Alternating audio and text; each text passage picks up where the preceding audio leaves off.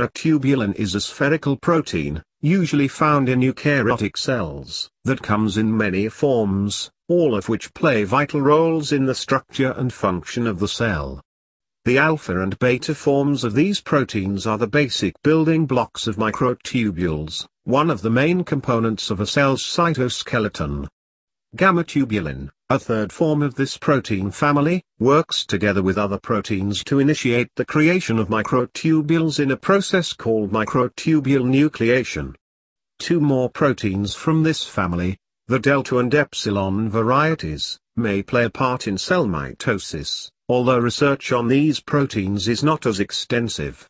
Most forms of tubulin are known to be heterodimer proteins, meaning that they consist of two non-identical polypeptide sequences bound together.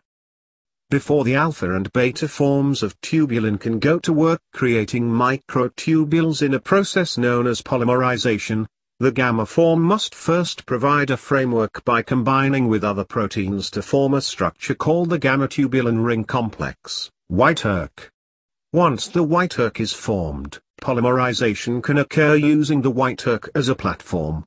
The gamma form of the protein is usually found in a cell organelle known as the centrosome, which is a microtubule organization centum The process of polymerization usually takes place in an MTOC, and involves the alpha and beta protein forms binding to a nucleotide known as guanosine triphosphate, GTP.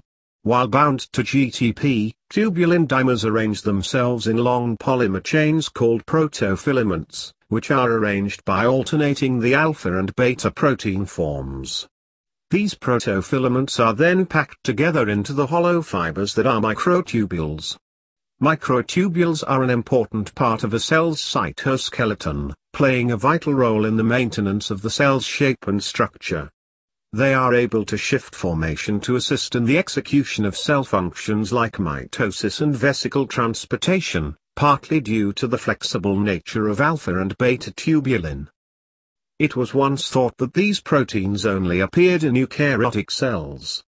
However, in the 1950s, it was discovered that prokaryotic cells, specifically bacteria, possess a protein called filamenting temperature-sensitive mutant Z, FTSZ, that is homologous to the tubulin family of proteins. FTSZ is encoded by the FTSZ gene and is a component of the prokaryotic cytoskeleton. It plays a role in prokaryotic cell division, creating a structure called the FTSZ ring that is vital to the formation of new cell walls. The FTSZ ring is also used in some eukaryotic cells for the division of chloroplasts and some varieties of mitochondria. You might also,